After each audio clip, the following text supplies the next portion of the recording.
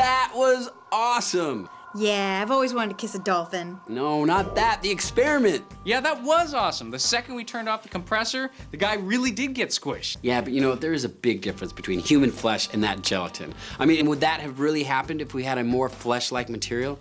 Well, there's only one way to find out. We go full scale. Who's in? I'm in. Actually, no. As you can see, I'm about to bring a mini Mythbuster into this world any moment now. So, I've got a replacement for you, and she's going to be great. But I'll see you guys in a few episodes. Bye, Kari. Bye, Kari. Good luck. Hi, guys. Whoa.